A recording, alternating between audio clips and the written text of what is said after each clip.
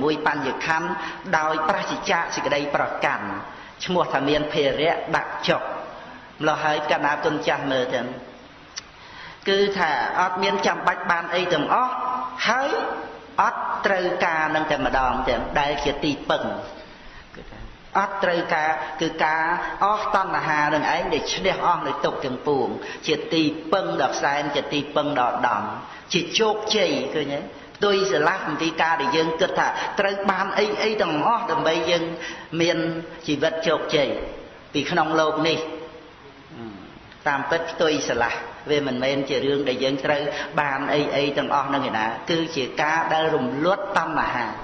ព្រោះបានកំណត់ដឹងបញ្ញខណ្ឌនឹងឯងមិននៅជាភារៈដើម្បីនឹងស្វែងរកអ្វីពីក្នុងលោកនឹងយកមកឲ្យខណ្ឌនឹងតទៅទៀតទេត្រូវលះបង់ខណ្ឌនឹងទៀតដែលជាការលះបង់ក្នុងអរិយវិន័យជាការលះបង់យ៉ាងម៉េចមើលមើលទៀតគុណចាស់ពិនិត្យមើលតើត្រូវលះបង់បញ្ញខណ្ឌនឹងយ៉ាងណាអញ្ចឹងបានយើងសិក្សាទៅនៅក្នុង ឆាប់តន់ជាដកនេះយើងលើកយកចំណុចដែលព្រះបរមពុរិស័ទព្រះអង្គ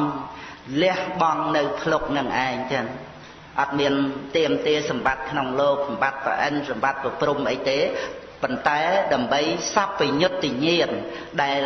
អស់នៅភារៈក្នុងបញ្ញខណ្ឌហើយហើយស្រោចស្រង់សត្វលោកព្រះអង្គធ្វើជាមហានាវីដែលមិនអាចនឹងកំណត់ សត្វលោកដែលនៅក្នុងមហានាវានឹងតែប្រមាណសែនកោទេគឺថាព្រះអង្គជញ្ជូនចេញអំពីត្រើយអាយទៅកាន់ត្រើយនាយដោយសัพពញុត្តញាណនឹងឯងចឹងចឹងរឿងរ៉ាវនៅក្នុងឆាត់តន់តជាដកនឹងគណាក្នុងដីដកលេខ60កម្ពូល171ហើយព្រះអត្តកថាមានដូចតទៅចឹង ព្រះបរមសាស្តាកាលដែលព្រះអង្គទ្រង់គង់ប្រថាប់នៅនាព្រះចេតពុនមហាវិហារទ្រង់ប្ររពភិក្ខុនីក្រមុំមួយអង្គទ្រង់ត្រាស់នៅព្រះធម៌ទេសនានេះថាកੰនុសោចៈសេនុចង្គីដូច្នេះជាដើមប្ររពសេចក្តីថា នាងភិក្ខុនីនោះជាធីតារបស់ត្រកូលមួយ ក្នុងព្រះនគរសាវត្ថីឃើញទោសនៅក្នុងទរាវះវិស័យក៏បានចេញទៅបួសក្នុងពុទ្ធសាសនា ថ្ងៃមួយភិក្ខុនីអង្គនោះបាននិមន្តទៅដើម្បីនឹងស្ដាប់នៅពធទេសនាព្រមជាមួយនឹងភិក្ខុនីរតីបានឃើញព្រះរូបឆោមដែលកើតឡើងដោយបញ្ញានុភាពរੂបប្រមាណមិនបានប្រកបទៅដោយព្រះរូបសម្បត្តិដ៏ឧត្តមរបស់ព្រះទសពលព្រះអង្គទ្រង់គង់ប្រថាប់លើធម្មាសនៈដែលប្រដាប់តាក់តែងហើយព្រះអង្គកំពុងតែប្រកាសសម្ដែងនៅពធទេសនា នាងភិក្ខុនីឃើញដូច្នេះហើយក៏គិតថាកាលដែលយើងត្រាច់ទៅក្នុងវត្តសង្សារធ្លាប់បានជាបាតៈបរិចារិកាគឺធ្លាប់បានធ្វើជាភរិយារបស់ព្រះអង្គក្នុងជាតិណាមួយដែរឬទេអាហ្នឹងគំនិតវាចេះឲ្យគិតទៅអញ្ចឹងដែលឃើញព្រះអង្គជាមហាបរោះដ៏អស្ចារ្យទៅតាម រូបភាពទៀតរូបរាងរបស់ព្រះអង្គចំពោះសម្បល់ហ្នឹងក៏នឹកឃើញថាមិននិយាយទេជាតិហ្នឹងប៉ុន្តែពីមុនមកយើងធ្លាប់បានធ្វើជាប្រពន្ធព្រះអង្គក្នុងជាតិណាមួយដែរអត់ហ្នឹងហើយតន់ពេលនោះឯងនាងក៏បានរលឹកជាតិណាបានឃើញថាយើងធ្លាប់បានជាភរិយារបស់ ព្រះមហាបរោះនេះ ក្នុងកាលដែលព្រះអង្គជាស្ដេចដំរីឆាត់តន់កាលដែលនាងបានរលឹកដូច្នេះហើយបៃតិបានកើតឡើងសបាយចាសបាយអូបានផ្លាត់ធ្វើប្រពន្ធព្រះអង្គមកជាតិដែរសបាយហ្នឹងហើយហ្នឹងហើយ ដល់ចឹងទៅដោយកម្លាំងនៃសេចក្តីត្រេកអរហ្នឹងភិក្ខុនីហ្នឹងស្រាប់តែសើចសបាយចេញមកចឹងស្ថិតនៅក្នុងវិស័យដែលខ្លួនឯងនៅជាបឋិជនណាចឹងប៉ុន្តែដោយឧបនិស្ស័យសន្សំការចាំនៅក្នុងរឿងនឹងមមមកគឺថានឹករលឹកជាតិបានចឹងហ្នឹងហើយចាំជាតិហ្នឹង ដល់អញ្ចឹងគឺសើចដោយសំឡេងខ្លាំងខ្លាំងចេញមកតែម្ដងទាំងរួចក៏បានគិតតទៅទៀតណាយើងបានជាភរិយារបស់ព្រះអង្គអញ្ចឹងតើមានអធិស្រ័យប្រព្រឹត្តដើម្បីជាប្រយោជន៍ដល់ស្វាមីបានដែរឬទេពីព្រោះក្រែងតែថាយើងបានធ្វើនៅកំហុសអីយ៉ាងណាក៏មិនដឹងជាមួយគ្នានឹងព្រះអង្គដែលជាស្វាមីរបស់យើងនឹង នឹងឯងដល់ទៅនាងរលឹកទៅក៏បានឃើញទៅតាមសេចក្តីពិតថា ដោយពិតយើងបានសាងនៅកំហុសទុកក្នុងហបរតីមិនតិចឡើយគឺយើងបានប្រើនាយព្រានសោនុត្តរៈឲ្យយកព្រួញលេបទៅដោយថ្នាំពឹសបាញ់ស្ដាច់ដំរីឆាត់តន់ដែលមានកម្ពស់ប្រមាណជា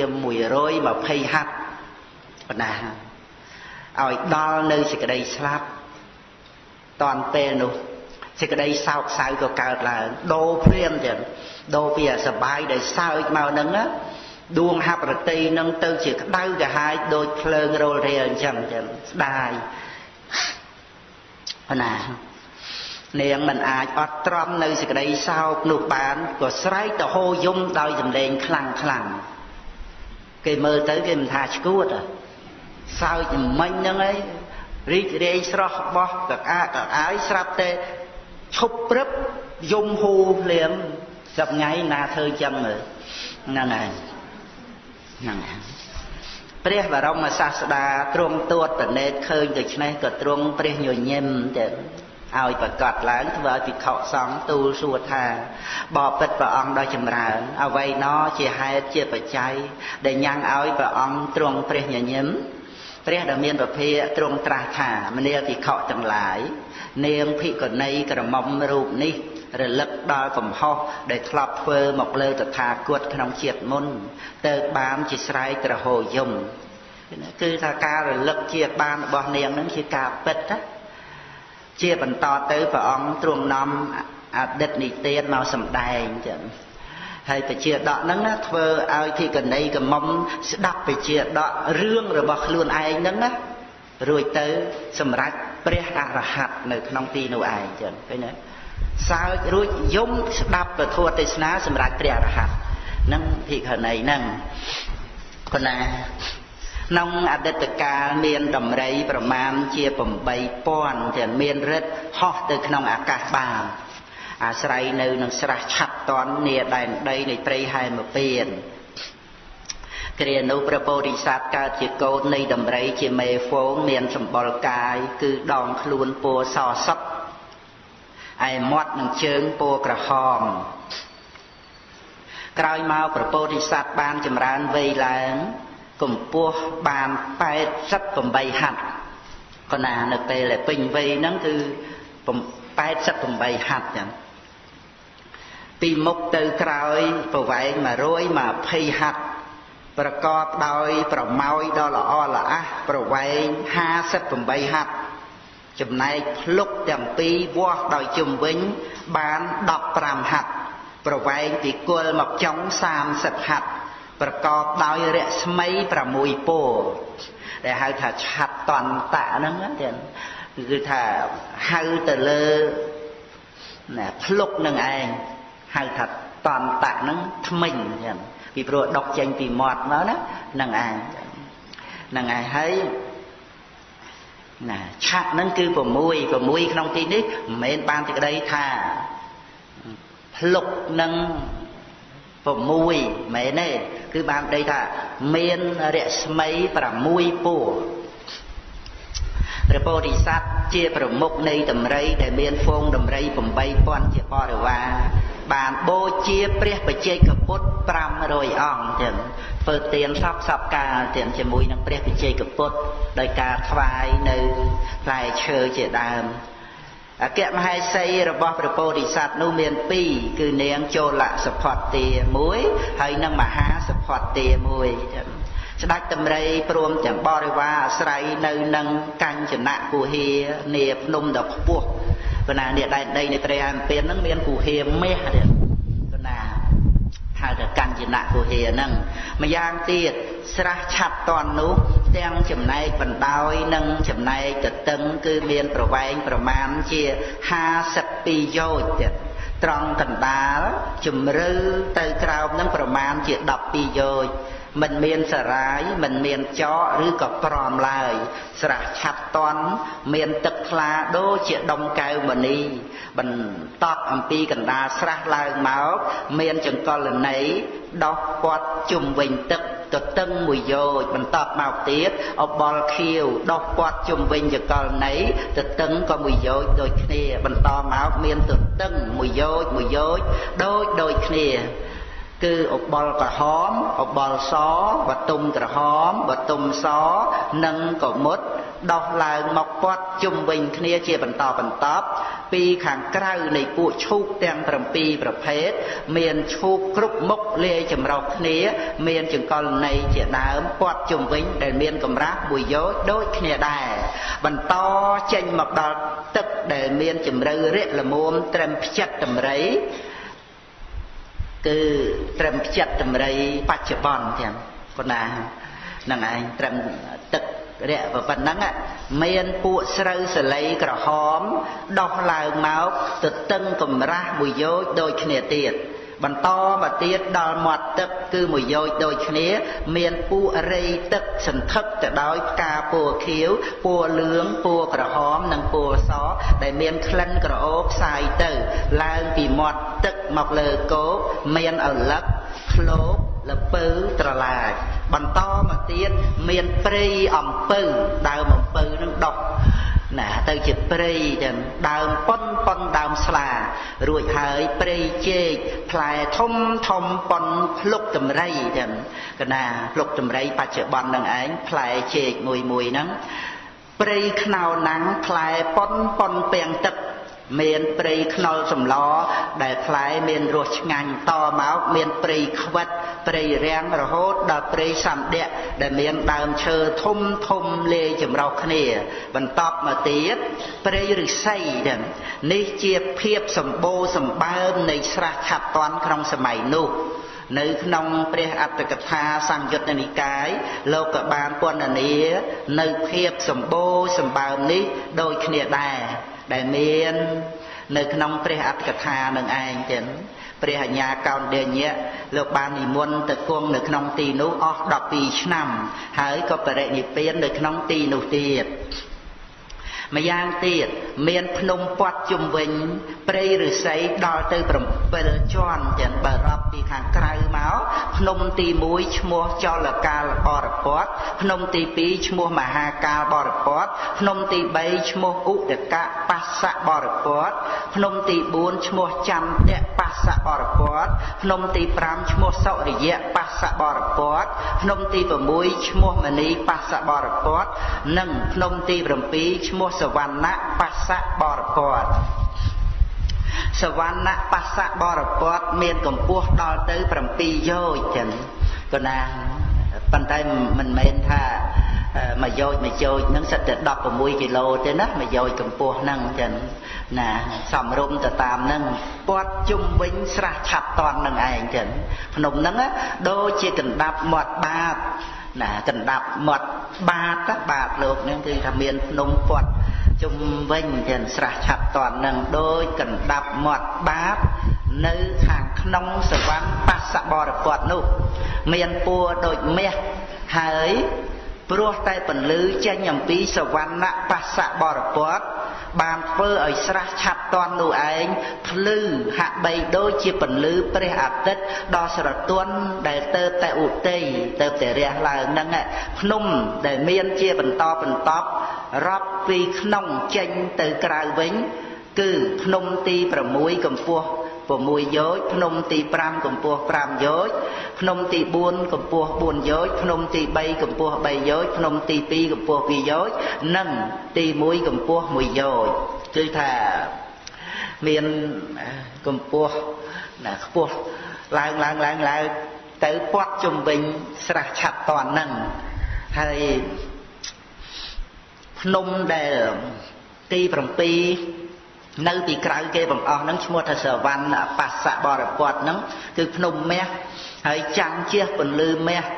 ដែលត្រូវដោយពន្លឺព្រះអាទិត្យហ្នឹងចូលទៅក្នុងស្រះហ្នឹងធ្វើឲ្យទឹកនឹងឯងពួរមាសទៅតែម្ដងទៀតក៏ណា នៅនឹងជ្រុងទិសអេសាននៃស្រះឆាត់តន់ដែលមានភ្នំ7ជាន់ព័ទ្ធជុំវិញនោះមានដើមជ្រៃធំតាំងនៅក្នុងឱកាសដែលទឹកនិងខ្យល់ប៉ះត្រូវបានចឹងដើមជ្រៃនោះវាស់ដោយជុំវិញបាន5យោជន៍កម្ពស់ដើម7យោជមានមេឃវែងបានដល់ទៅ6យោជលូតចេញទៅក្នុងទិសទាំង4ទាំងសំបីតែមេឃដែលដុះ ទៅលើក៏ប្រវែង6យោជដូចគ្នាដែរដូច្នេះបើវាស់ពីគល់ទៅដល់ចុងកំពូល មានកម្ពស់13យោជពីចុងមេឃម្ខាង ទៅចុងមេឃម្ខាងទៀតប្រវែង12យោជ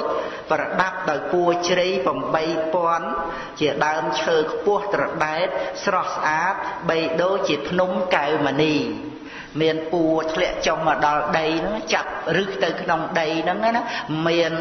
8000ពួរជ្រៃហ្នឹងចឹង នៅឯទិសបច្ចិននៃស្រះឆាត់តន់មានភ្នំសវណ្ណបស្សៈបរិពតមានកញ្ចនៈគុហាគឺថាគុហាមាសចឹងប៉ុណ្ណាដ៏ធំប្រមាណជា12យោជដល់រដូវភ្លៀងស្ដាច់តម្រៃឆាត់តន់មានតម្រៃ8000ជាបរិវារបានអាស្រ័យនៅនឹងកញ្ចនៈគុហានោះឯងក្នុងរដូវក្តៅក៏មកឈួរទទួលខ្យល់និងទឹក នៅរវាងពួរជ្រៃក្រោមមហានិក្រូតព្រឹកកណានៅក្រោមដើមជ្រៃនឹងឯងចឹងកណាកាលណាបើដល់ពេលរដូវក្តៅមកនៅក្រោមដើមជ្រៃចឹងប៉ុណ្ណាដល់ទៅពេលភ្លៀងជ្រក់នៅក្នុងកញ្ញនៈគុហាចឹងក្រោយមកថ្ងៃមួយដំរីទាំងឡាយបានមកប្រាប់ថាព្រៃរាំងដ៏ធំនោះមានផ្ការីកហើយ ស្ដេចតម្រៃឆាប់តន់គិតថាយើងនឹងលេងកីឡាផ្ការាំងលោកគិតដូច្នេះហើយព្រមទាំងបរិវារក៏ទៅកាន់ត្រីរាំងនោះយកក្បាលជល់ដើមរាំងមួយដើមដែលមានផ្ការីកស្គុះស្គាយនាងចលសុផតទាឈរនៅពីខាងលើខ្យល់ស្លឹករាំងចាស់ចាស់ជាប់ជាមួយនឹងមេឃងប់ងាប់ព្រមទាំងស្រមោចផង អង្ក្រងផងណាបានធ្លាក់ត្រូវសរីរៈរបស់នាងខ្យល់នឹងវានៅពីលើចឹងបានន័យថានាងនឹងឈួរនៅពីពីក្រោមខ្យល់ចឹងខ្យល់នឹងវាបក់មកចឹងទៅវាមានស្លឹករាំងចាស់ចាស់ហ្នឹងហើយ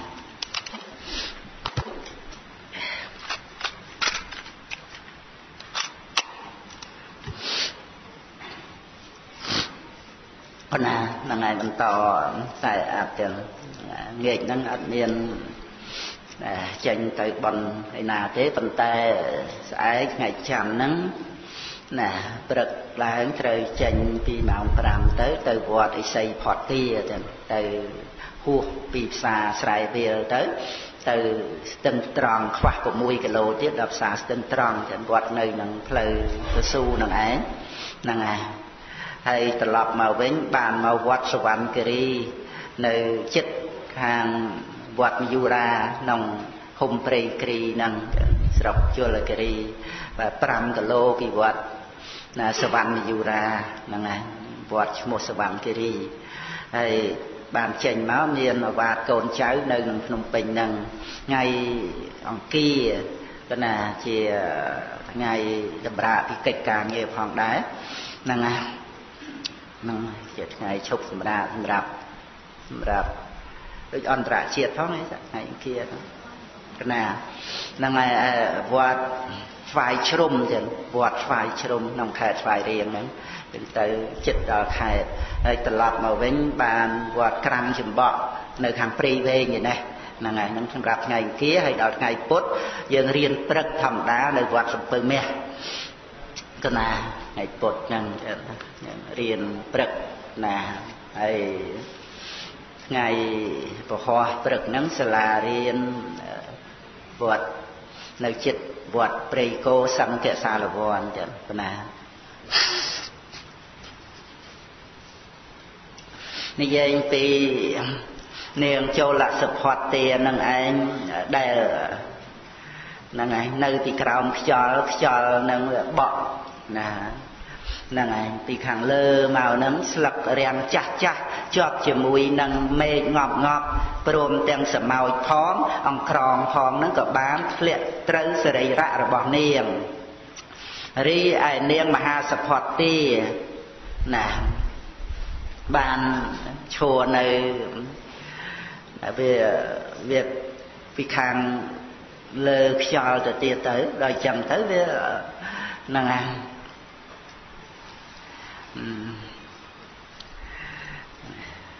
វាអត់មានបានត្រូវទៅដោយសម្ោចក្រងអីអីអារបស់ទាំងអស់មេឈើលឹកឈើអីហ្នឹងហើយនឹងវាអត់បានត្រូវណាហ្នឹងហើយហើយដល់ចឹងទៅនាងចូលលសផតទាហ្នឹងក៏គិតថាស្ដាច់តម្រៃនេះឯងចឹង ជាធម្មតាហ្នឹងតែងតែរយនៅកេសរការឈើអីអីឲ្យលើសរីរៈភរិយារបស់មហាសភតទាដែលព្រះអង្គនឹងស្រឡាញ់ប្រុសប្រាមចំណែកយើងឯនេះវិញនឹងគឺរួនឲ្យស្លឹកចាស់ចាស់ជាប់នៅនឹងមេឃងាប់ងាប់ហើយទាំងក្រងទាំងសមោចអីហ្នឹងឲ្យមកត្រូវលើយើង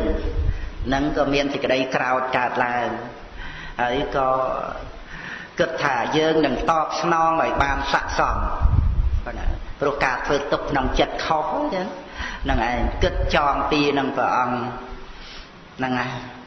ក្រោយមកថ្ងៃមួយស្ដេចដំរីព្រមដោយបរិវារបានចុះកាន់ស្រះឆាត់តន់ដើម្បីងូតទឹកគណៈនោះមានដំរីពីរនៅក្មេងក្មេងយកប្រម៉ោយចាប់កាន់ស្មៅម្យ៉ាងយកមកដោះកាយស្ដាច់ដំរីបីដូចជាចំអើតបោះកំពូលភ្នំកៃឡាស់ដូច្នោះឯងចឹងព្រះអង្គធំខ្ពស់នោះ កាលដែលស្ដាច់ដំរីងូតទឹកឡើងមកហើយទៅឲ្យនាងដំរីទាំងពីរចុះងូតដល់ទៅនាងទាំងពីរឡើងមកនាំគ្នាទៅឈួរក្បែរព្រះមហាសត្វទៅដំរីទាំង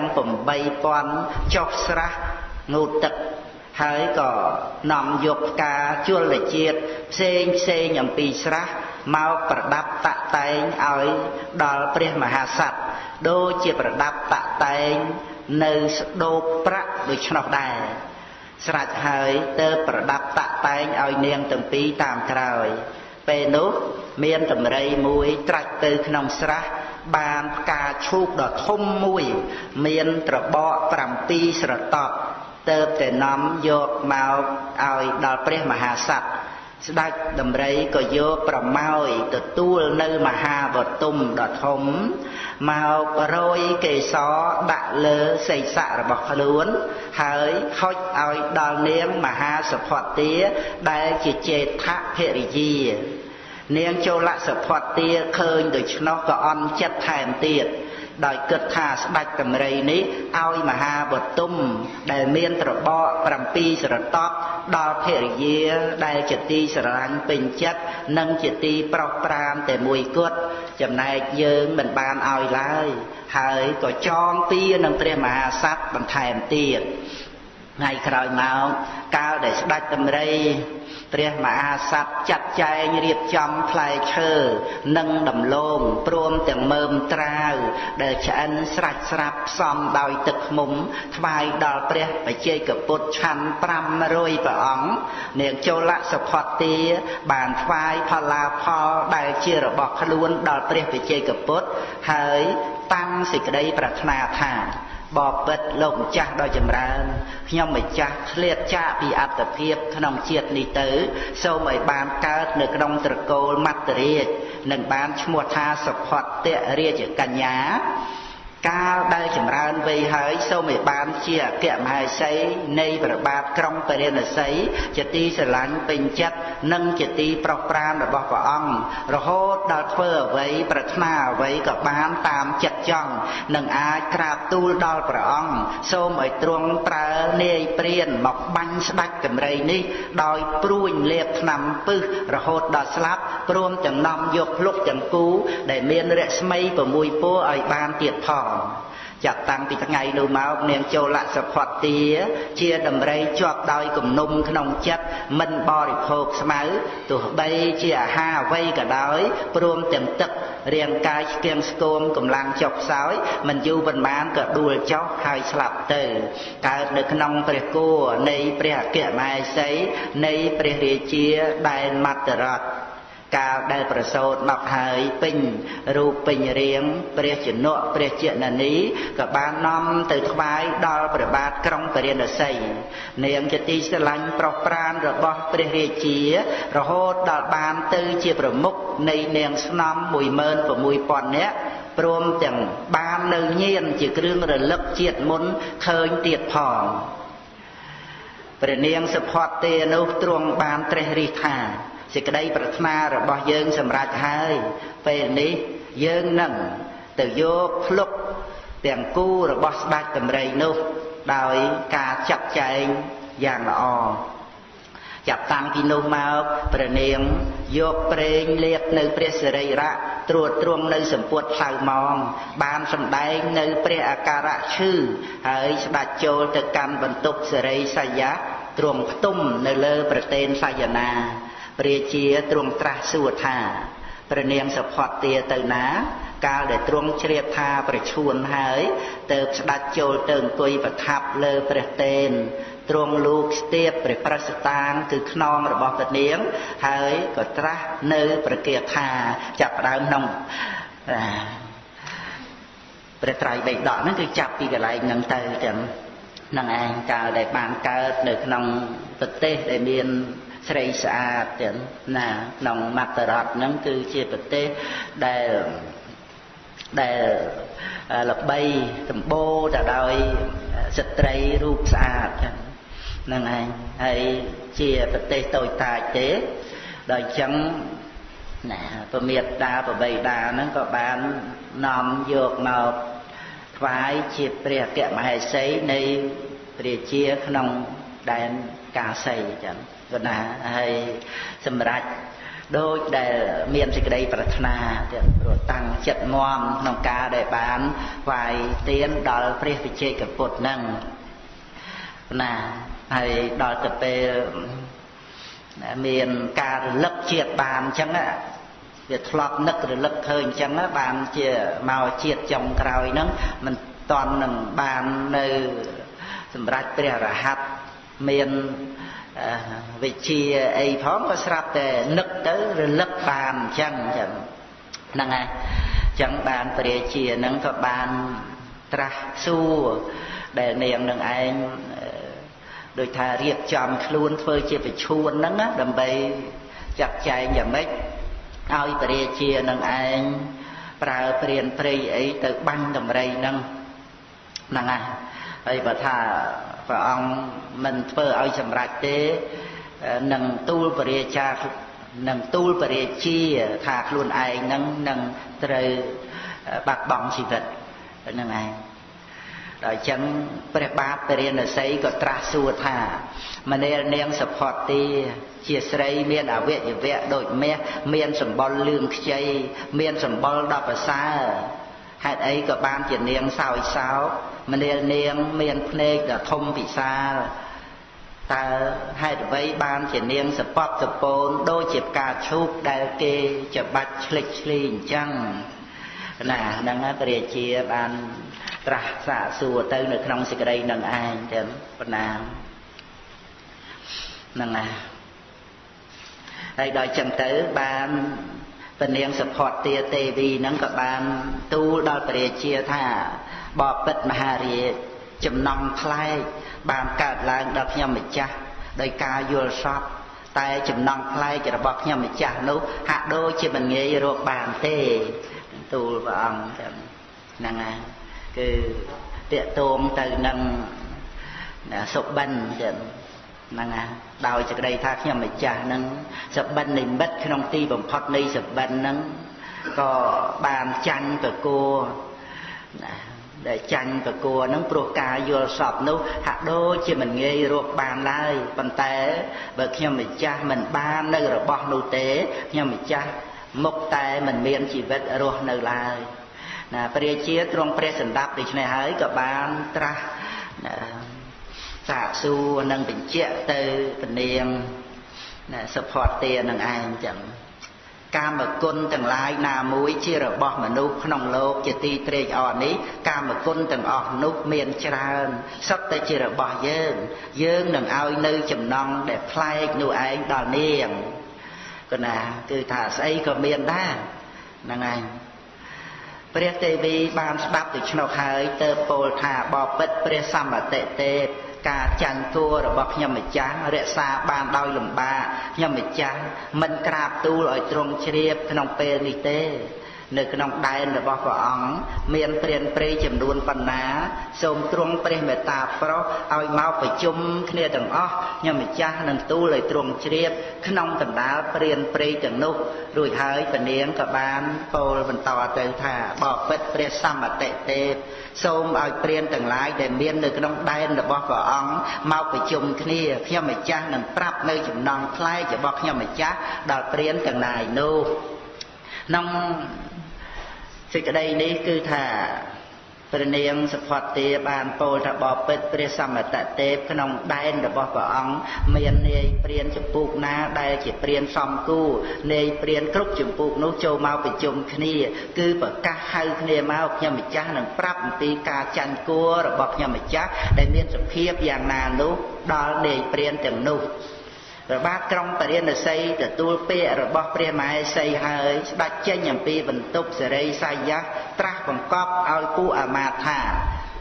នាយព្រានព្រៃចំនួនប្រមាណមាននៅក្នុងការសិក្ករតដែលមានអាណាខេត300យោជចូលអ្នកទូងស្គួរប្រកាសឲ្យព្រានព្រៃទាំងអស់នោះមកប្រជុំគ្នា អាមាត្យទាំងនោះក៏ធ្វើតាមពរាជាបញ្ជា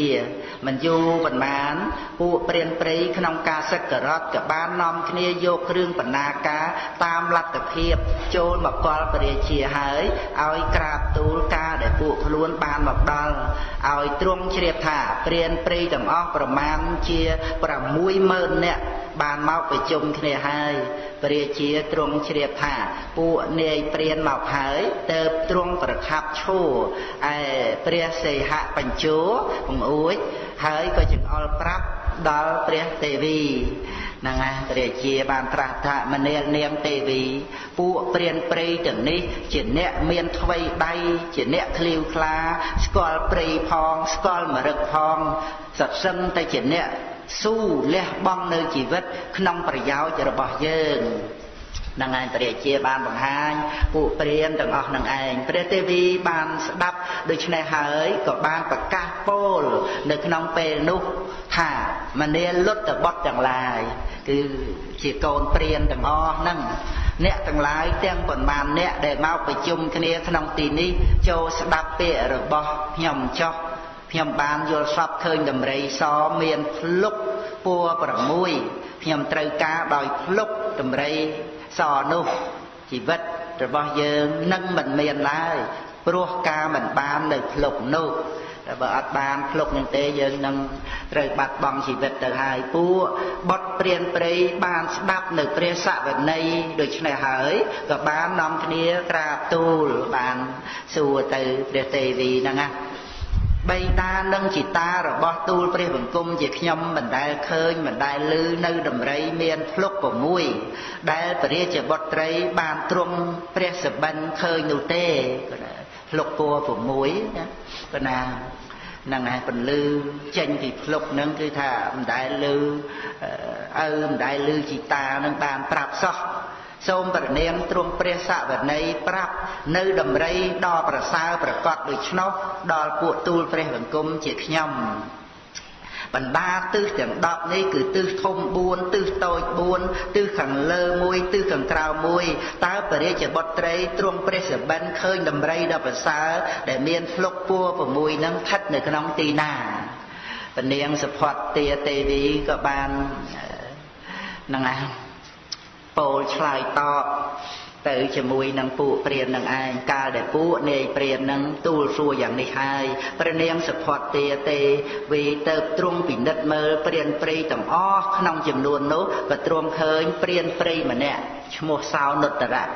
ក៏ណាហ្នឹងហើយដែលធ្លាប់ចងពៀនឹងព្រះមហាសត្វណាតៃតៈរបស់ខោទេវទត្តចឹង ប្រកាសថាជាព្រានខ្លាំងពូកែជាងពួកព្រានដតីគឺថាមើលឃើញរូបរាងអញ្ចឹងណាចឹងគឺថារូបរាងសន្តានឃើញអាក្រក់ប្រកបច្បាស់គឺបាតជើងនឹងកំប៉ាងស្មងនឹងកំពីកំពក់ជង្គង់នឹងធំឆ្អឹងជំនីរប៉ោងពុកមាត់នឹងក្រាស់ពុកចង្ការក្រហមភ្នែកលឿងមើលទៅឃើញអញ្ចឹង ហ្នឹងហើយព្រះទេវីទ្រង់ទួតឃើញយ៉ាងនេះហើយតើព្រះតម្រេះថាបុគ្គលនេះតើអាចធ្វើតាមពាក្យរបស់យើងបាន ហើយក៏ក្រាបទូលសូមព្រះបរមរាជានុញ្ញាតឲ្យនាំព្រានសោនុត្តរៈឡើងទៅខាងលើប្រាសាទជាន់ទី7 ទ្រង់បើកសីហបញ្ជោទិសឧត្តរហើយលើកប្រហោះចង្អុលត្រង់ទៅកាន់ដែនដីនៃព្រៃហើយមកពៀននៅខាងឧត្តរទិសរួចក៏បានត្រាស់នៅព្រះវាចាណាអ្នកចេញអំពីទីនេះដើរត្រង់ទៅទិសខាងជើងរំលងភ្នំធំទាំង7ទៅនឹងឃើញភ្នំ ដ៏ធំលើកលុកមួយឈ្មោះសវណ្ណបាសៈជាភ្នំមានការឈើរីកប្រងព្រាតកកកដោយពួកកេណអ្នកចូលឡើងកាន់ភ្នំជាលំនៅនៃពួកកេណនោះហើយរមិលមើលនៅទីចិត្តនៃជើងភ្នំគ្រានោះអ្នកនឹងឃើញនៅស្ដាច់ជ្រៃមួយដើម មានរឹស8000មានពណ៌ប្រកបស្មើដោយមេឃហើយស្ដាច់តម្រៃមាន ភ្លុកពណ៌6មានខ្លួនសសុតដែលពួកដំរីដតីគ្របសង្កត់បានដោយក្រ តែងតែនៅចិត្តដើមជ្រៃនោះដំរីទាំងឡាយ8000មានភ្លុកងួរដូចជាចន្ទោលរទេះមានប្រកដីទៅប្រហារដោយសន្ទុះដូចជាកម្លាំងខ្យល់តែងនៅរក្សាស្ដាច់ដំរីនោះពួកដំរីទាំង8000នោះឈោដកដង្ហើមខ្លាំង តែងក្រោតចំពោះវត្ថុសូម្បីដែលខ្យល់បក់ត្រូវហើយ មួយទៀតបើតម្រៃទាំងនោះឃើញមនុស្សនៅក្នុងទីនោះហើយនឹងធ្វើឲ្យទៅជាផេះសូម្បីតែធូលីគឺផេះរបស់មនុស្សនោះក៏មិនឲ្យមាននៅសល់ឡើយហ្នឹងហើយនឹងគឺវាចារបស់ហ្នឹងឯងព្រះ នាងសុផតទាទេវីនឹងឯងចឹងនាយព្រានសោនុត្តរៈស្ដាប់នៅព្រះសវន័យហើយក៏ភ័យខ្លាចចំពោះសេចក្តីស្លាប់ក៏បានក្រាបទូលថាបបិទ្ធព្រះនាងទេវីគ្រឿងប្រដាប់ទាំងឡាយដ៏ច្រើនដែលគេធ្វើដោយមាសក្តីកែវមុខក្តារក្តីកែវមณีក្តីគ្រឿងប្រដាប់ជាវិការៈនៃកែវពេទូក្តីសឹងមាននៅក្នុងពរាជតកោឡើយចុះពនាង មានសេចក្តីប្រាថ្នានឹងសម្លាប់តម្រៃមានភ្លុកពួរ6នឹងយកមកធ្វើជាគ្រឿងប្រដាប់ជាវិការៈនៃភ្លុកឬក៏ព្រះនាងចង់សម្លាប់ពួកកូនព្រានទេឬណាហើយจะខ្វះអីគ្រឿងប្រដាប់សិតតែកៅមនីបងពេជ្រថ្លៃថ្លៃកៅពីទូហ្នឹងហើយតែចង់បានលុកតម្រៃដល់លំបាកលំបិនហ្នឹងដែលមិនងាយយកបានហ្នឹង ឬក៏ឧបាយកលរបស់ពនាងចង់សម្លាប់ពួកកូនព្រានទេអីបាទសួរអញ្ចឹងបានពនាងសផតទានឹងឯងណាឆ្លើយតបមកណាប្រាប់ទៅដល់ណាព្រាននឹងឯងចឹងណាមនាលព្រានព្រៃមិនមែនដូច្នោះទេតាមពិតយើងជាស្រីចំណែនផង ជាស្រីដល់នៅសេចក្តីទុកផង យើងរលឹកឃើញនៅពីពីខាងដើម ដែលសម្រីនោះបានធ្វើដល់យើងផង បានជាចេះតែស្គាំងស្គមមនាលព្រានព្រៃអ្នកចូលធ្វើសេចក្តីនេះដល់យើងចុះយើងនឹងឲ្យស្រុកសួយដល់អ្នកចំនួន5ដែលស្រុកសួយនឹងមួយមួយអាចបានប្រាក់មួយសែនមួយសែនក្នុងមួយឆ្នាំមួយឆ្នាំ កាលដែលព្រះទេវីត្រាស់យ៉ាងនេះហើយ ក៏បានត្រាស់លួងលោមព្រានថាណែសម្លាញ់ព្រានអើយក្នុងជាតិមុនយើងបានថ្វាយទានដល់ព្រះបជ័យកពុទ្ធហើយហើយបានតាំងសេចក្តីប្រាថ្នាថាសូមឲ្យយើងជាមនុស្សអាចនឹងឲ្យអ្នកដតីសម្លាប់តម្រៃឆាត់តននេះយកភ្លុកទាំងគូមកឲ្យយើង គឺមិនមែនជាការយល់សពទេ ជាការពិតប្រាកដ សេចក្តីប្រាថ្នារបស់យើងគឺត្រូវតែសម្រេចអ្នកចូលទៅទៅកុំខ្លាចអ្វីឡើយឲ្យកម្លាំងដល់ព្រានហ្នឹងនៃព្រានសោនុត្តរៈទទួលបរិបត្តិតាមព្រះសវន័យនៃព្រះទេវីថាទូលព្រះបង្គំយល់ព្រមព្រះនាងម្ចាស់ហើយព្រានព្រៃក៏បានទូលថាបើដូច្នោះសូមព្រះនាងម្ចាស់ទ្រង់ប្រោសចង្អុលទីនៅរបស់ស្ដេចតម្រៃឆាត់តននោះដល់ទូលព្រះបង្គំឲ្យបានច្បាស់លាស់ កាលដែលនឹងទូលសួរតទៅក៏បានពោលដូច្នេះថាដំរីឆាត់តន់នោះតែងនៅត្រង់ទីណា តែងចូលទៅឈួរនៅកន្លែងណាផ្លូវដូចម្ដេចដែលដំរីឆាត់តន់ចុះទៅងូតទឹក ស្ដេចដំរីឆាត់តន់នោះងូតទឹកតើដូចម្ដេចខ្ញុំធ្វើដូចម្ដេចដើម្បីនឹងដឹងនៅដំណើរនោះបានបណ្ណាកាលដែលព្រះនាងទេវីនឹងត្រាស់ប្រាប់នៅកន្លែងដែលបានដឹងច្បាស់ ដោយញាណជាគ្រឿងរលឹកជាតិបាននឹងឯងក៏បានពោលទៅរកព្រាននឹងថាត្រង់ទីកន្លែងដែលដំរីនៅនោះមានស្រះបោករណីនោះឯងនៅចិត្តជាស្រះ ដែលគួររីករាយផង មានកំពង់ទឹកដ៏ល្អផង មានទឹកដ៏ច្រើនផង មានកមុតអបលនិងឈូកជាដើមរីកស្គុះស្គាយដេរដាស់ដោយពួកភមរៈជាតិផង ស្ដេចដំរីដ៏ប្រសើរនោះ តែងតែងូតទឹកក្នុងស្រះនោះឯងដំរីឆាប់តន់នោះជាដំរីសសុតមានស្បែកនិងអវយវៈសដូចជាការឈូកសលេងជំរះនៅសីស័ក រួចហើយក៏ត្រួតត្រងនៅផ្កាអបលជាដើមត្រេកអររីករាយពុនពេកឲ្យនៅមេតម្រៃជាមហេសីឈ្មោះនាងមហាសភត្តាដើរអំពីខាងមុខហើយដើរសំដៅទៅកាន់ទីកន្លែងរបស់ខ្លួនណាហ្នឹងហើយកាលដែលពនាងសភត្តាបានពោលដូច្នេះក៏ណានៃ ព្រានសោនុត្តរៈបានស្ដាប់ប្រសវន័យហើយក៏បានទូលរាប់រងថាប្រពៃហើយពនាងម្ចាស់ទូលព្រះបង្គំនឹងសម្លាប់នៅតម្រៃនោះនាំយកភ្លុកមកថ្វាយពនាងគ្រានោះព្រះទេវីទ្រង់រីករាយសបាយបតីប្រទៀនត្រប់ឲ្យដល់ព្រាន1000រាបណៈហើយបង្កប់ថា អ្នកចូលត្រឡប់ទៅផ្ទះវិញសិនចុះ7ថ្ងៃទៀតសុំទៅក្នុងទីនោះ កាលដែលបញ្ជូនព្រានឲ្យទៅហើយក៏បង្កប់ឲ្យជាងដែកមកគាល់ទ្រង់បង្កប់បញ្ជាថាណែជាង យើងត្រូវការកំបិតបត់ពូថៅចបពលាកញញូ កំបិតកាត់គុំព្រៃរស័យកណ្ដៀវច្រូតស្មៅដាវកំណាប់ដែកស្រួចរណានិងដែកទំពក់មុខ3អ្នកចូលបញ្ញាប់ធ្វើរបស់ទាំងអស់មកឲ្យយើងរួចហើយព្រះទេវីក៏បង្កប់ឲ្យជាងស្បែកមកគាល់ទ្រង់បញ្ជាថាណែជាង អ្នកគួរនឹងធ្វើនៅស្បោងស្បែកសម្រាប់ដាក់សម្ភារៈធ្ងន់ប្រមាណ1កំភៈឲ្យយើង ហើយយើងត្រូវការខ្សែស្បែកខ្សែរឹតស្រោមដៃស្បែកជើងនិងឆាត់ស្បែកអ្នកចូលជួយធ្វើរបស់ទាំងអស់នេះមកឲ្យយើងដោយបញ្ញាផងចាប់តាំងពីថ្ងៃនោះមកជាងទាំងពីរក៏ប្រញាប់ខំធ្វើនៅរបស់ទាំងអស់នាំយកមកថ្វាយដល់ព្រះទេវី ព្រះនាងទៅទ្រង់ត្រៀមរៀបចំស្បៀងឲ្យនាយព្រានសោនុត្តរៈនោះតាំងទៅពីប្រដាប់បង្កាត់ភ្លើងជាដើមទៅព្រះនាងរៀបចំទុកដាក់នៅឧបករណ៍គ្រប់យ៉ាងព្រមទាំងស្បៀងមានសដៅជាដើមដាក់នៅក្នុងស្បោងស្បែកគ្រឿងឧបករណ៍និងស្បៀងទាំងអស់នោះទម្ងន់ប្រមាណ1កំភៈ ចំណែកនៃព្រានសោនុត្តរៈនោះត្រៀមខ្លួនស្រេចហើយដល់ថ្ងៃទី7ក៏មកគាល់ថ្វាយបង្គំព្រះរាជទេវី លំដាប់នោះព្រះនាងទេវី បានប្រាប់ទៅព្រានថាគ្រឿងឧបករណ៍គ្រប់យ៉ាងរបស់អ្នកស្រេចបាច់អស់ហើយ អ្នកចូលសាកលបងលើកស្បោងនេះសិនមើល នេកព្រានសោនុត្តរៈនោះជាមនុស្សដែលមានកម្លាំងច្រើនត្រួតត្រងនៅកម្លាំងស្មើនឹងដំរីសា5ព្រោះដូច្នោះទៅគេចាប់លើកស្បោងឡើងដូចជាស្បោងមលូហើយស្ពេងនឹងស្មាឈួរធ្វើបង្ើយដូចជាឈួរស្មាទៅទេ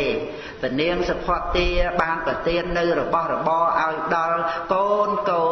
របស់នាយព្រានហើយក្រាបទូលឲ្យព្រះរាជាទ្រង់ជ្រាប និងប្រាប់ឲ្យនាយព្រានសោនុត្តរៈចេញដំណើរទៅ ចំណែកនាយព្រានសោនុត្តរៈនោះកាលដែលក្រាបថ្វាយបង្គំព្រះរាជានិងព្រះរាជទេវីហើយបចុះចាកអំពីព្រះរាជនិវេសឡើងរត់ចេញអំពីព្រះនគរដោយបរិវារជាច្រើនឆ្លងកាត់ស្រុកនិគមនិងជនបទមកតាមលំដាប់ដល់ចុងនៃព្រះរាជអាណាខេត្តហើយទើបឲ្យពួកអ្នកស្រុកត្រឡប់វិលវិញ ព្រានសោនុត្តរៈដើរចូលព្រៃទៅជាមួយនឹងអ្នកស្រុកជាយដែនរហូតដល់ផុតដែនដីរបស់មនុស្សទៅឲ្យពួកមនុស្សជាយដែនត្រឡប់ទាំងអស់ហើយដើរទៅតែម្នាក់ឯងនេកព្រានដើរចូលព្រៃតែម្នាក់ឯងអស់30យោជន៍ឆ្លងកាត់ព្រៃស្ដុក18លើកដោយលំដាប់គឺមុនដំបូងព្រៃស្បូវភ្លាំងព្រៃស្មៅរហូតដល់ព្រៃឈើមានក្លឹមក្នុងព្រៃទាំងនោះមានជាអាចគឺព្រៃបន្លាព្រៃផ្ដៅព្រៃរពាក់ព្រៃបបោះព្រៃត្បែងព្រៃឫស្សីព្រៃឈើធម្មតាព្រៃចម្រុះគ្នាព្រៃឈើអត់ក្លឹមព្រៃឈើមានក្លឹមនិងព្រៃក្រាស់ព្រៃក្រាស់នោះសំបីតែពស់ក៏វាទៅបានដោយលំបាកកាលដែលព្រានទៅដល់ហើយក៏យកកណ្ដៀវច្រូតស្បូវភ្លាំងជាដើមយកកំបិតកាប់គុំព្រៃបន្លាជាដើមយកពូថៅកាប់គល់ឈើយកពន្លាកធំចោះធ្វើផ្លូវដើរដល់ព្រៃរិស័យក៏កាប់រិស័យធ្វើបង្អោងដាក់ឡើងទៅពីខាងលើ ហើយកាប់ទៀតឲ្យរិស័យដួលដាក់ធ្វើស្ពានដើរទៅពីខាងលើគុំឫស្សីដល់ទីដែលមានភក់សុតក៏ដាក់ឈើស្ងួតស្ងួតដើរទៅហើយដាក់ឈើរទេទៀតជាបន្តទៅលើកឈើមុនឡើងសម្រាប់ដាក់តទៅមុខទៀតឆ្លងទីដែលមានភក់បានហើយក៏ដល់ទីដែលមានទឹកសុតក៏ចងក្បូនឆ្លងទៅ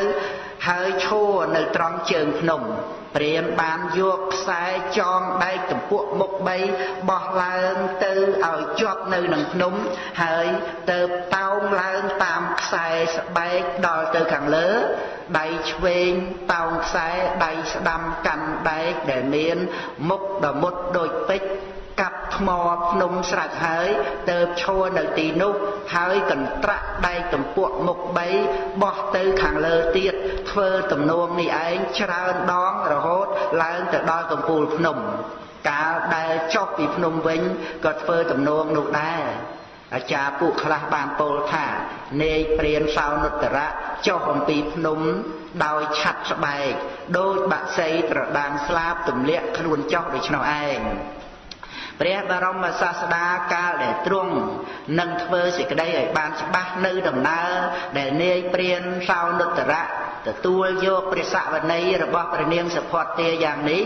ហើយចេញចាកអំពីព្រះនគរឆ្លងកាត់ព្រៃស្ដុកជាច្រើនកន្លែង រហូតដល់ភ្នំហើយឆ្លងភ្នំ6ខាងដើមបាននឹងឡើងទៅកាន់កំពូលភ្នំសវណ្ណបស្សៈព្រះអង្គក៏ទ្រង់បានត្រាស់ដូច្នេះថា អភិសម្ពុទ្ធគាថា ព្រានព្រៃនោះបានរៀនពាកក្នុងទីនោះ ហើយក៏ចាប់កាន់យកនៅពំពង់ព្រួយនិងធ្នូដើររំលងភ្នំធំទាំង7ក៏ពិចារណាមើលទៅឃើញភ្នំធំខ្ពស់មួយឈ្មោះសវណ្ណបស្សៈព្រានព្រៃបានឡើងទៅកាន់ភ្នំជាកន្លែងនៅនៃពួកកេណក៏រមែលមើលនៅទីចិត្តនៃជើងភ្នំបានឃើញស្ដាច់ជ្រៃធំមួយដើម មានសម្បល់ប្រកបស្មើដោយមេឃមានរឹសគឺពួរ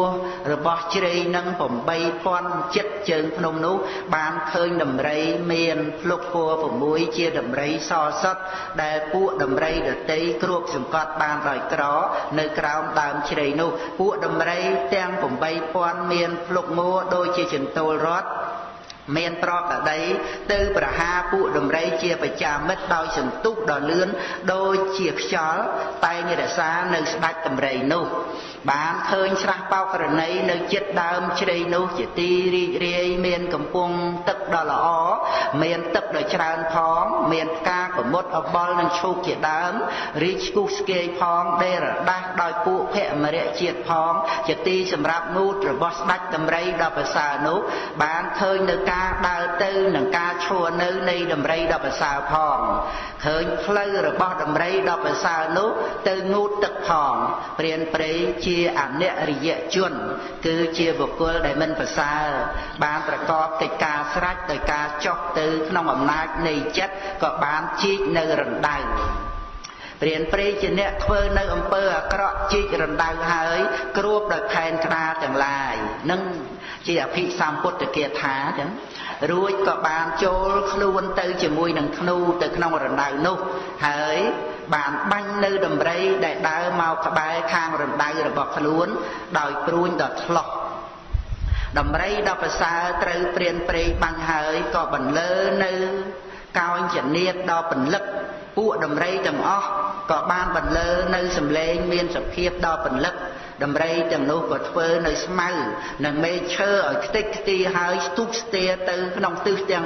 8ដំរីដ៏ប្រសើរក៏ចាប់ព្រាននោះដោយបំណងថាអញនឹងសម្លាប់ព្រានព្រៃនោះក៏ឃើញនៅសម្ពុតកាសាវៈដែលជាទងជ័យរបស់អេសីដំរីដ៏ប្រសើរត្រូវសេចក្តីទុកប៉ះពាល់ហើយក៏មានសញ្ញាកើតឡើងថាធម្មតាបុគ្គលប្រើប្រាស់ទងជ័យព្រះរហន្តមានសភាពដែលសប្បុរសមិនគួរសម្លាប់ឡើយនឹងគឺជាអភិសម្ពុទ្ធទាថាដែលបានសម្ដែងបញ្ជាក់ទៅនៅក្នុងដំណើររឿងទាំងអស់ហ្នឹងចឹងដែលព្រះអង្គទ្រង់បានត្រាស់សម្ដែងចឹងព្រោះណានៅក្នុងរឿងនោះ មានសេចក្តីតាមលំដាប់លំដោយដូចតទៅនេកព្រានសោនុត្តរៈនោះមកដល់លំនៅរបស់ព្រះមហាសត្វកំណត់បាន7ឆ្នាំ7ខែ7ថ្ងៃ តាំងពីចេញដំណើរមកចឹងព្រានបានកំណត់មើលទីនៅរបស់ព្រះមហាសត្វតាមន័យដែលបានពោលឲ្យនោះឯងហើយបានកំណត់ទុកក្នុងចិត្តថាយើងនឹងជីករណ្ដៅត្រង់នេះឈួរអែបក្នុងរណ្ដៅនោះរួចនឹងបាញ់ស្ដាច់តម្រៃឲ្យដល់នៅសេចក្តីស្លាប់ដូច្នេះហើយព្រានក៏បានចូលព្រៃកាត់ដើមឈើដើម្បីធ្វើជាសសរជាដើម ត្រៀមតែពាក់សម្ភារៈទុកកាលដែលតម្រៃទាំងឡាយឡើងពីងូតទឹកទៅលំនៅហើយទៅយកចបដ៏ធំជីករណ្ដៅ4ជ្រុងត្រង់ទីឈរនៅនៃស្ដេចតម្រៃហើយយកទឹកស្រោច កាយយកនៅអាចដីចេញមកដាំសសរចុះដាក់រនូតក្រាលក្តារចោះប្រហោងរយធូលីដីនិងកាយស្លឹកឈើដាក់ខាងលើ ធ្វើទីចូលទៅនៅក្នុងនោះកាលដែលធ្វើរណ្ដៅរួចស្រេចហើយក្នុងពេលចិត្តភ្លឺ ទៅទទូក្បាលដណ្ដប់សម្ពុតកាសាវៈកាន់ធ្នូព្រមទាំងព្រួញដែលលាបទៅដោយថ្នាំពឹសចុះចូលទៅឈួរក្នុងរណ្ដៅហ្នឹងណាព្រះសម្មាសម្ពុទ្ធក៏បានសម្ដែងរៀបរាប់នៅក្នុងសេចក្តីទាំងអស់ហ្នឹងចឹងប៉ុណ្ណាហើយបានបាញ់ដំរីមហាសត្វនឹងឯងចឹង សដ៏ឆ្លោះនោះ បានទម្លុះចំត្រង់នេភីប្រទេសចំផ្សិតពីក្រោមចឹងគឺណាគឺជាផ្ចិតផ្ចិតផ្ចិតនៃស្ដេចតម្រៃនឹងឯងគឺទំលាយអវយវៈមានតម្រងបាសាវៈជាដើមនឹងឲ្យបែកខ្ទេច កាត់នៅពវៀនតូចជាដើមហើយរហូតធ្លុះចេញមកខ្នងខាងលើរបស់ស្ដេចតម្រៃមិនត្រឹមតែប៉ុណ្ណោះនៅធ្លុះផុតពីខ្នងស្ដេចតម្រៃព្រួញបានស្ទុះលឿនទៅក្នុងអាកាសទៀតផងបាញ់ពីក្នុងដីមកទៅធ្លុះតម្រៃយ៉ាងលឿនទៅក្នុងអាកាសទៀតចឹងមុខរបួសធ្លុះធ្លាយដូចជាត្រូវកាប់ដោយពូថៅឈាមហូរចេញមកដូចជា ទឹកលាក់ចេញអំពីឆ្នាំងបង្កើតទុក្ខវេទនាដល់ព្រះមហាក្សត្រពុនប្រមាណដាច់តម្រៃមិនអាចទ្រាំនៅទុក្ខវេទនាបាន ពេលនោះក៏ស្រែកកងរំពួងលន់សន្ធឹកពេញសកលបរពតបន្លឺកោញចនាតពេញទំហឹងដល់ទៅ3ដង គឺថាដំរីទាំង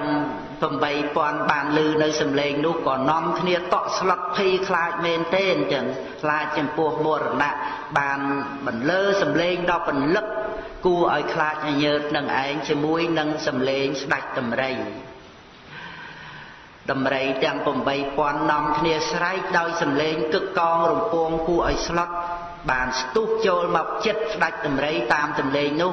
ឃើញស្ដាច់តម្រៃទទួលនៅទុក្ខវេទនាក៏គិតថាពួកយើងនឹងចាប់បច្ចាមិត្តឲ្យបានហើយក៏បាននាំគ្នារត់រករហូតស្មៅនឹងកំណាត់ឈើដែលបែកបាក់ស្ទេចខ្ទីវក់វីអស់ដើម្បីរកខ្មាំងសត្រូវនឹងឯងចឹងក្នុងពេលដែលតម្រៃ ទាំងអស់នោះចេញផុតទៅនឹងឯងដំរីដ៏ប្រសើរក៏បានយកជើងឈូសដីដោយបំណងថាយើងនឹងសម្លាប់នៅព្រានព្រៃនេះព្រោះដាច់ដំរីបានដឹងថាព្រាននឹងគឺនៅក្នុងដីនេះឯងចឹងក៏បានឃើញនៅសម្ពុតកាសាវៈដែលជាទងជ័យរបស់គូអេសីចឹងកណា ដំរីដ៏ប្រសើរត្រូវសេចក្តីទុកប៉ះពាល់ហើយក៏មានសញ្ញាកើតឡើងថាធម្មតាបុគ្គលប្រើប្រាស់នៅទងជ័យព្រះអរហន្តមានសភាពដែលសប្បុរសមិនគួរសម្លាប់ឡើយព្រះដ៏មានពភាកព្រះអង្គទ្រង់ត្រាស់នៅក្នុងអភិសម្ពុទ្ធគាថាដោយសេចក្តីថាមនាលភិក្ខុទាំងឡាយកាលដែលដំរីទាំងឡាយចេញទៅក្នុងទិសានុទិសហើយ និងកាលដែលនាងដំរីមហាសភ័តទាចូលទៅឈួចិត្ត ណានៅនៅមហាសុផតទាតែមួយនឹងឯងចូលចូលទៅចិត្តស្ដាច់តម្រៃលួងលោមចឹងហើយយកប្រម៉ោយនឹងស្ទាបអង្អែលស្ដាច់តម្រៃស្ដាច់តម្រៃឆាត់តន់ក៏អត់សង្កត់នៅទុក្ខវេទនាបានឈប់ស្រែកហើយក៏កំណត់ផ្លូវដែលព្រួញនឹងឯងបាញ់មកនឹងព្រះមហាសត្វពិចារណាមើលទៅថា បើព្រួញនេះមកអំពីទិសខាងកើតព្រួញនឹងទម្លុះក្បាលជាមុន ហើយនឹងធ្លាយទៅខាងកន្ទុយដូច្នេះជាដើមប៉ុន្តែនេះគឺព្រួញចូលតាមផ្ចិតហើយធ្លុះថ្នមទៅក្នុងអាកាសកាលបើយ៉ាងនេះនឹងមានមនុស្សឈួរនៅពីខាងក្រោម ដីនឹងឯងបាញ់ចេញពីក្នុងដីមកព្រះមហាក្សត្របំណងនឹងត្រួតមើលក្រោមដីទៅគិតថា អ្នកណានឹងដឹងថាមានអ្វីកើតឡើង គួរតែយើងឲ្យនាងមហាសភ័តទានឹងចេញទៅសិនហើយទៅពោលថាប្រពន្ធសម្លាញ់ដំរីទាំង8000នាំគ្នាស្វែងរកបច្ចាមិត្តរបស់ប្តីដោយនាំគ្នាទៅគ្រប់ទិសានុទិសហើយតើនាងរវល់តែមកធ្វើអីកន្លែងហ្នឹង កាលដែលនាងមហាសភ័តទាបានស្ដាប់ហើយក៏តបថាបបិទ្ធប្តីសម្លាញ់នាងខ្ញុំម្ចាស់ឈួរនៅជួយព្យាបាលលួងលោមចិត្តប្តីសូមស្ដេចតម្រៃអត់ទៅទោសឲ្យដល់ខ្ញុំម្ចាស់ផងចុះមហាសភ័តទាធ្វើបតិសិន3ជុំលុះរួចស្រេចអំពីការគោរពក្នុងឋានទាំង4ហើយក៏ហោះទៅក្នុងអាកាស ចំណែកស្ដេចតម្រៃក៏យកជើងឈូសដី ក្តារក៏បានរបើកឡើង ស្ដេចតម្រៃអោនមើលទៅក៏បានឃើញនាយព្រានសោនុត្តរៈក៏កើតទោសចិត្តក្នុងពេលនោះបន្តិចគិតថាយើងនឹងសម្លាប់វាទៅលោកគឺថាយកប្រម៉ោយនឹងឯងដូចជាភួងប្រាក់ចូលទៅ ចាប់លើកនាយព្រានមកខាងលើ ដាក់ចំពីមុខឃើញសម្ពុតការសាវៈដែលជាទងជ័យនៃព្រះអរហន្ត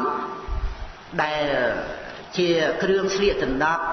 នៃព្រះសម្មាសម្ពុទ្ធជាអម្ចាស់ជាដើមលំដាប់នោះសញ្ញាស្មារតីគឺការនឹករលឹកឃើញខុសត្រូវក៏បានកើតឡើងដល់ព្រះមហាសត្វដែលបានទទួលនៅទុក្ខវេទនាដ៏ខ្លាំងក្លាដូចនេះថា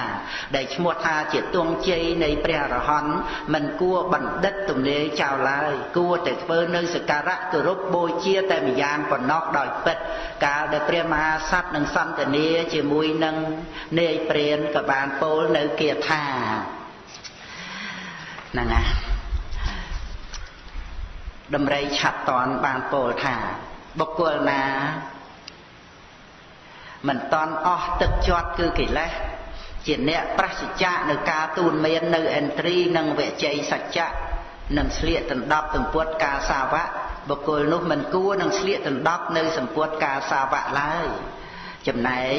បុគ្គលឯណាដែលខ្ជាក់ចោលនៅទឹកជាប់គឺកិលេសតាំងមមនៅក្នុងសិលទាំងឡាយជាអ្នកប្រកបដោយការទូលមាននៅអន្ត្រីនិងវជ័យសច្ចៈបុគ្គលនោះឯងទៅគួរនឹងស្លៀកដណ្ដប់នៅសម្ពុតការសាវៈកណាអនិកសាវោកាសាវាំងយោវត្ថੰបរិតៈហេសតិអបេតោតមសច្ចេនៈអ្នកសោកាសាវៈមរហតិ យោចវន្តកសាវសៈសីលេសុសុសមាហេតោឧបេតោតមសច្ចេនៈសវេកាសាវៈមរហតេតេនឹងជាពគាថាដែលបរមពុរិស័ទតម្រៃឆាប់តន់បានពោលអំពីអ្នកដែលសំគួរនឹងប្រើប្រាស់នៅសម្ពុតកាសាវៈនឹងទាំង តណា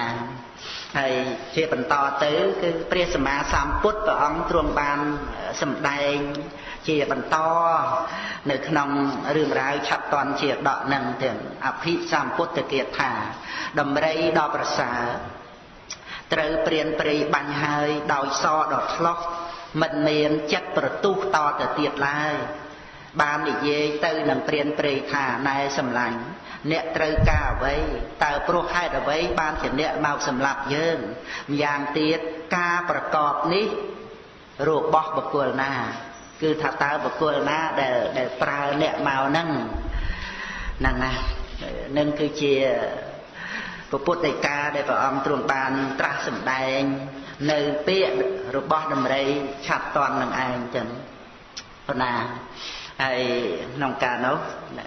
នាយព្រាតនឹងឯងក៏បានឆ្លើយតបទៅចឹងបបិទ្ធដំរីដ៏ចម្រើន ព្រះមហេសីរបស់ស្ដេចក្នុងដែនកាសីនោះឈ្មោះនាងសុផតទាដែលគេបូជាហើយក្នុងពរាជតកូលពនាងបានឃើញនៅអ្នកហើយប្រាប់ខ្ញុំថាព្រះនាងក៏មានព្រះសវន័យថាយើងត្រូវការដោយភ្លុកទាំងឡាយហ្នឹងគឺ ព្រាមសោនុត្តរៈហ្នឹងក៏បានពោលទៅថាគឺពនាងសុផតទាព្រះកមហេសីនៃបបាទកាសីទាំងឯងដែលគេបានបូជានៅក្នុងព្រះរាជតកូលហ្នឹងបានឃើញលោកម្ចាស់ជាស្ដេចតម្រៃនឹងហើយពនាងនឹងបានមានព្រះសវន័យដើម្បីឲ្យយើងជាព្រាតនឹងឯងមកបាញ់យកភ្លុករបស់លោកម្ចាស់នឹងទៅ ហ្នឹងណាបានពោលប៉ុណ្ណឹងព្រះមហាសត្វបានស្ដាប់ដូច្នេះហើយក៏ដឹងភ្លាមនេះជាអំពើរបស់នាងចូលសផតទាកាលដែលនៅជាភរិយារបស់យើងនឹងបានចងពៀនឹងយើងព្រះមហាសត្វខំអត់ទ្រាំនៅទុក្ខវេទនាហើយក៏បានពោលថាព្រះនាងសុផតទានោះមិនមែន ត្រូវការនៅភ្លុកទាំងពីររបស់យើងទេ នេះគឺជាបំណងដែលប៉ងដើម្បីឲ្យអ្នកសម្លាប់យើងទៅបានបញ្ជូនអ្នកមកដូច្នោះកាលដែលនឹងសម្ដែងនៅសេចក្តីតទៅព្រះរមពុរិស័ទក៏បានពោលជាបន្តទៅថា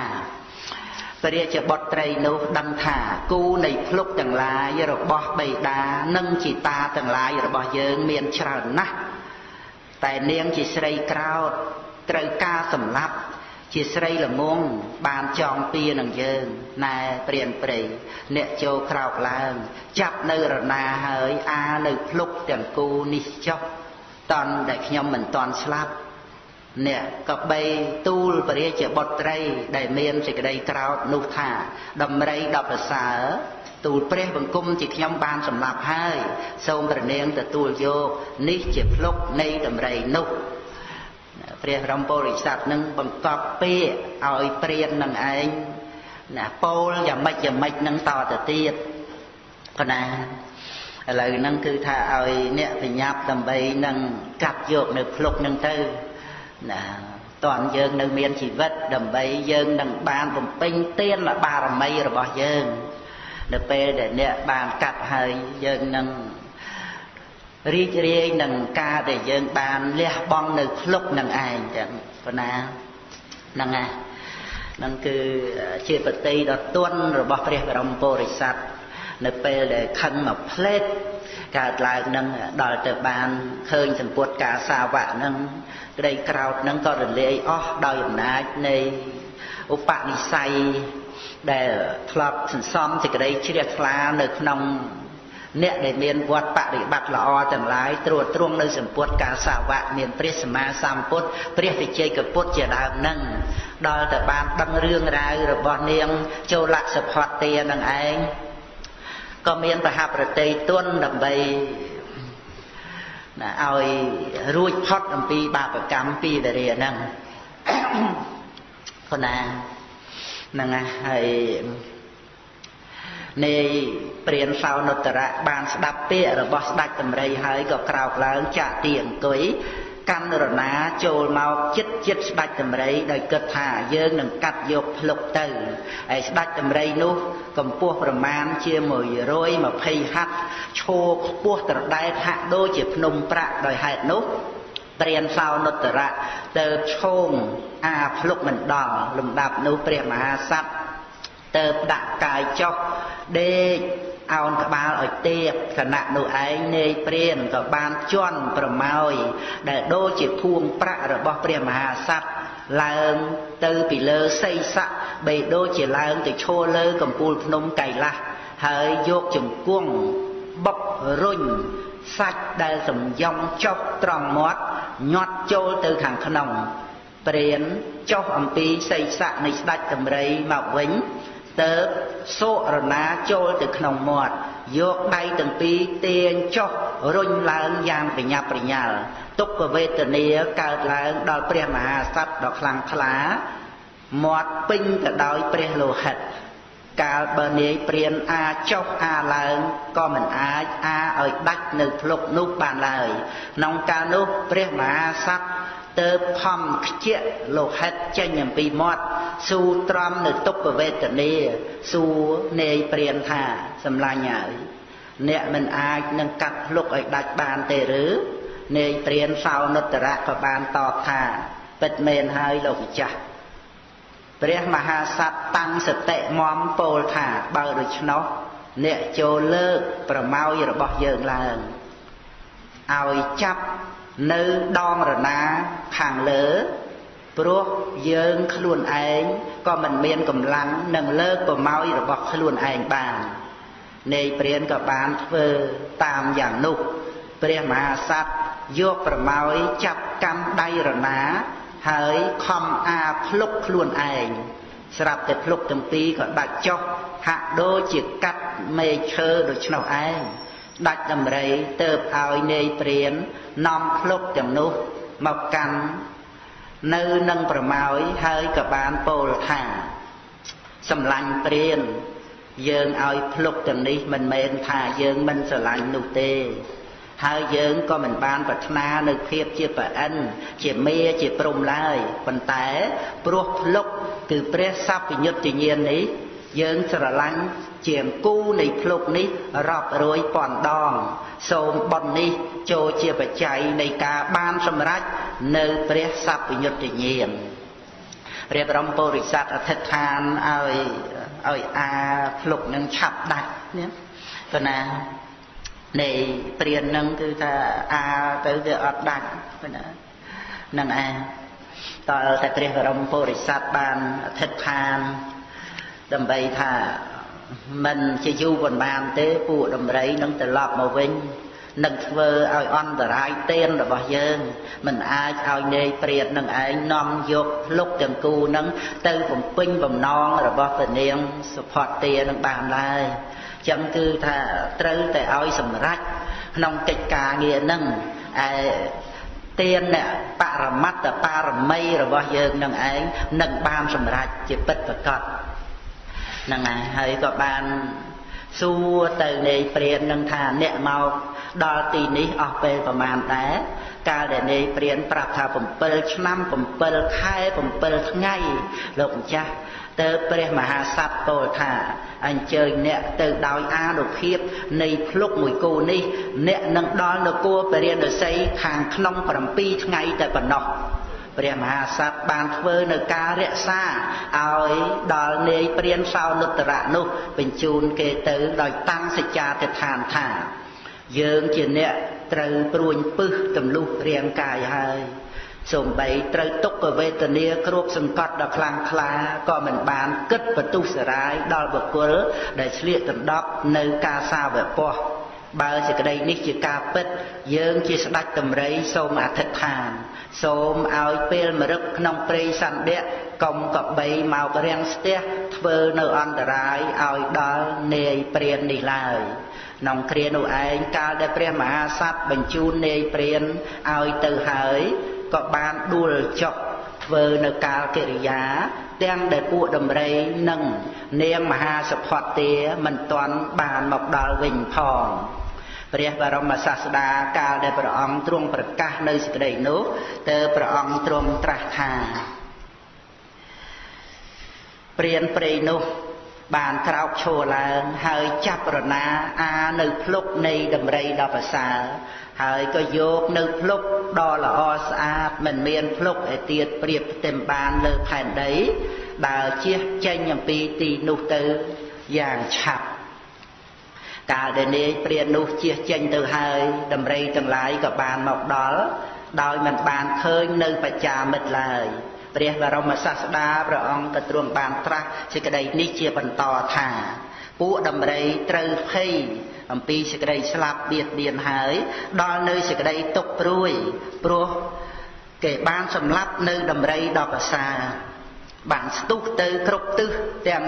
8លុះមិនឃើញនៅបរោះជាសត្រូវនឹងដំរីក៏ត្រឡប់មកកាន់ទីនៃស្ដេចដំរីដ៏ប្រសើរវិញ ដំរីដ៏ប្រសើរទាំងនោះកន្ទក់កន្ទិញស្រែករោក្នុងទីនោះហើយរយរាយនៅធូលីដីលើក្បាលរបស់ខ្លួនដំរីទាំងអស់នោះក៏ឲ្យមេដំរីជាមហេសីឈ្មោះមហាសុផតទាដើរមុខមកកាន់ទីនៅរបស់ខ្លួនគណៈហ្នឹងគឺព្រះរាមាភិបព្រះអង្គទ្រង់ត្រាស់សម្ដែងចឹងគឺនាងមហាសុផតទាដែលបាន មកព្រមគ្នានឹងដំរីទាំងនោះដំរី8000ចឹងនាំគ្នាស្រែកយំពេញទំហឹងក្នុងទីនោះហើយនាំគ្នាទៅកាន់សំណាក់នៃព្រះបច្ចេកពុទ្ធដំរីដែលជាកលបកៈនៃព្រះមហាសត្វដែលជាអ្នកបំរើមហាសត្វណាបានក្រាបទូលដល់ព្រះបច្ចេកពុទ្ធថាបបិទ្ធព្រះអង្គដ៏ចម្រើនបច្ចយៈទេយុគឺ អ្នកដែលបានថ្វាយនៅបច្ច័យដល់លោកម្ចាស់គឺបច្ចយៈទេយុរបស់លោកម្ចាស់ទាំងឡាយត្រូវបាញ់ដោយព្រួញពឹសធ្វើការកិរិយាហើយ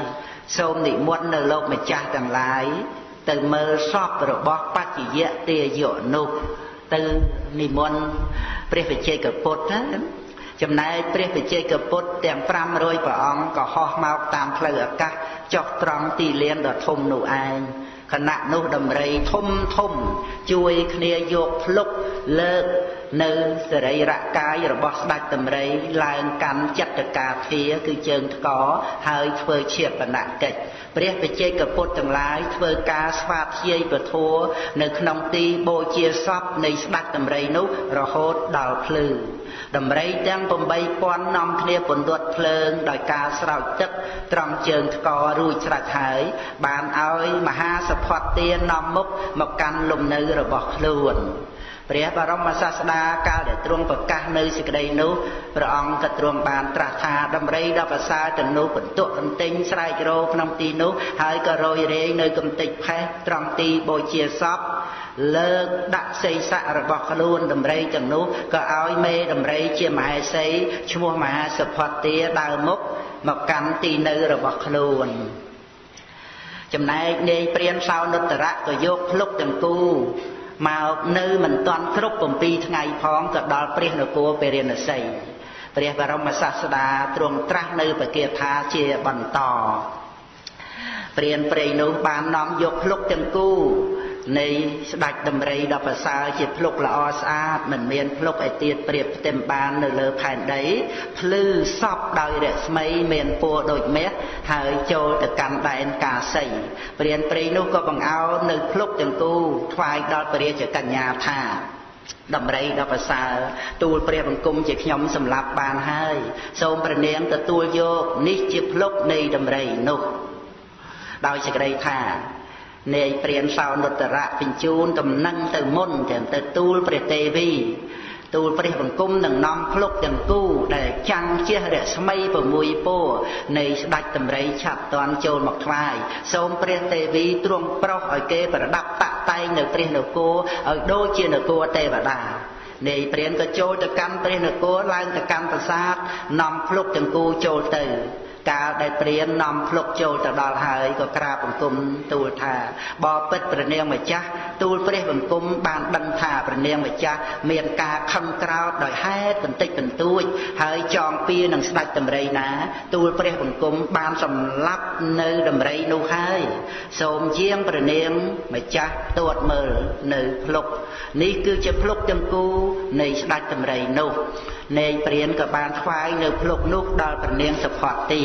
ព្រះនាងសុផតទាបានយកប្រដាប់ទ្រធ្វើដោយកែវមณีទទួលនៅគូនៃភ្លុកដ៏វិចិត្រមានរស្មី6ពណ៌របស់ព្រះមហាក្សត្រមកដាក់ត្រង់ដើមទ្រូងទួតប្រណេតមើលភ្លុកនៃស្វាមីដ៏ជាទីស្រឡាញ់របស់ព្រះនាងក្នុងជាតិមុនភ្លាមនោះព្រះទេវីបានរលឹកថានេកព្រានសោនុត្តរៈ សម្រាប់ស្ដេចដំរីដែលមានសភាពដ៏ល្អបែបនេះ បានធ្វើឲ្យស្ដេចដំរីបាត់បង់ជីវិតទៅហើយហើយបានកាត់យកភ្លុកទាំងគូមកកាលដែលព្រះនាងនឹកដល់អនុសាវរីយ៍ជាមួយនឹងព្រះមហាក្សត្រទ្រង់ក៏សោកសៅដល់ក្រៃលែងមិនអាចអត់ទ្រាំបាន ពេលនោះដួងហប្រតិរបស់ព្រះនាងក៏បានបែកធ្លាយហើយក៏ធ្វើការកិរិយាទៅក្នុងពេលនោះឯង ព្រះបរមសាស្តាកាលដែលទ្រង់ប្រកាសនៅសេចក្តីនេះព្រះអង្គក៏ទ្រង់បានត្រាស់ថាព្រះនាងសុផតទាបានទួតឃើញភ្លុកទាំងគូនៃដំរីដ៏ប្រសើរដែលធ្លាប់ជាប្តីដែលជាទីស្រឡាញ់របស់ខ្លួនពីជាតិមុន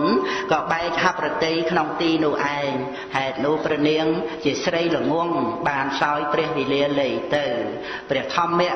សង្គាកាចាទាំងឡាយកាលដែលសរសើរនៅព្រះគុណនៃព្រះទសពលក៏បានសម្ដែង នៅក្នុងពទាថា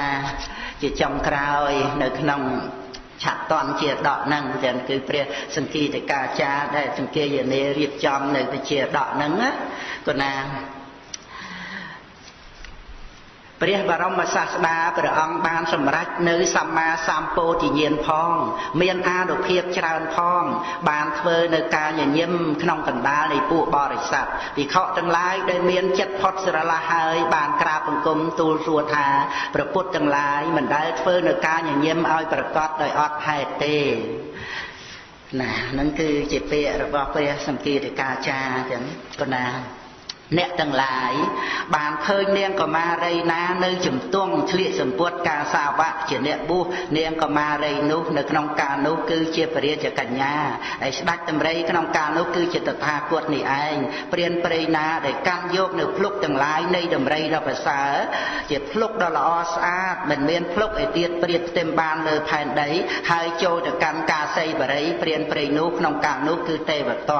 ព្រះពុទ្ធ ព្រះអង្គប្រសិជ្ជានៅភាពក្រវាយក្រវល់ប្រសិជ្ជានៅសេចក្តីសោកប្រសិជ្ជានៅកូនសគឺរាគៈបានជ្រាបច្បាស់ដោយព្រះអង្គឯងហើយទ្រង់សម្ដែងនៅចរិតខ្ពស់នឹងទៀតអំពីដើមនោះដែលរំទោលទៅអស់កាលដ៏យូរហាក់ដូចជាមិនកន្លងថ្ងៃនឹងគឺជាសេចក្តីដែលព្រះសង្គគីតិកាចារនឹងបានប្រកាសសម្ដែងចឹងគណា នាអវសោទាំងឡាយព្រះពុទ្ធជាអម្ចាស់កាលដែលទ្រង់ប្រសិជ្ជៈនៅការកវល់កវាយព្រោះព្រះអង្គប្រសិជ្ជៈនៅកិលេសមានរាគៈជាដើមដែលថាទ្រង់ប្រសិជ្ជៈនៅសេចក្តីសោកព្រោះមិនមានការសោកសៅដែលកើតអំពីញាតនិងទ្រព្យជាដើមដែលថាទ្រង់ប្រសិជ្ជៈនៅកូនសព្រោះប្រសិជ្ជៈនៅកូនសមានរាគៈជាដើមទ្រង់ជ្រាបច្បាស់ដោយព្រះអង្គឯងហើយបានត្រាស់នៅឆាប់តន់ជាដកនេះដែលជារឿងមានពីបុរាណ ដែលឈ្មោះថាព្រះចរិយាដ៏ខ្ពស់នឹងទេព